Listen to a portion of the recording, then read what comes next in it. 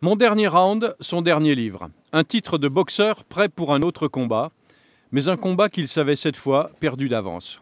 C'est un combat, je le savais déjà, euh, même il y a dix ans, le combat contre la vieillesse sera le plus dur. Et c'est effectivement le plus dur, parce qu'on ne gagne pas, elle est toujours là, elle finit par gagner. La vie de Marcel Bijard est un combat sans fin. Né en 1916 à Toul, il commence comme gratte-papier dans une banque qu'il quittera le temps du service militaire. Un premier contact avec l'armée qui le renverra dans ses foyers, lui, antimilitariste convaincu. Rappelé en 36, il est fait prisonnier en 40. Évadé, il poursuit la guerre dans différents régiments coloniaux. 1948, l'Indochine. S'imposant à lui-même comme à ses hommes les conditions de vie très dures de l'adversaire, ses victoires et son indicatif radio, Bruno, commencent à le faire connaître à l'état-major. Largué sur Dien Bien Phu, il dirige la résistance de la garnison jusqu'à la chute du camp retranché. Des 11 000 prisonniers français du Viet Minh, 3 000 seulement reviendront, affaiblis, malades, amers contre le pouvoir politique qui les a lâchés. Une enfance très dure.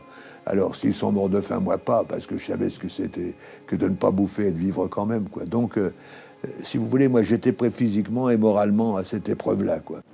1955, il est commandant en Algérie. Bijard, qui développe pour la première fois la doctrine de l'hélicoptère au combat, remporte, fidèle à son image, de nombreux succès militaires. Muté à Alger, pour y remettre de l'ordre, il y parvient, mais au prix d'une réputation qu'il paiera cher et longtemps, celle d'avoir avec ses paras pratiqué la torture. Mais c'est à Alger qu'il rencontre De Gaulle, il sera désormais gaulliste à vie. Sa liberté de ton l'écartera des zones sensibles, mais Marcel Bijard prendra de nombreux commandements honorifiques et prestigieux, jusqu'en 1975 quand Valéry Giscard d'Estaing le nomme secrétaire d'État à la Défense pour remettre de l'ordre dans l'armée. J'ai trouvé Giscard au bout du mois, président m'avait donné une mission, elle est terminée, je m'en vais, mais comment en général Les ministres s'accrochent à leur poste et vous me quittez. Ben, je dis, ma mission est terminée, je ne peux pas aller plus loin, je ne suis pas le patron des armées ni rien. Il ne voulait pas, je suis parti. Mission accomplie pour le général qui sera élu député pendant dix ans.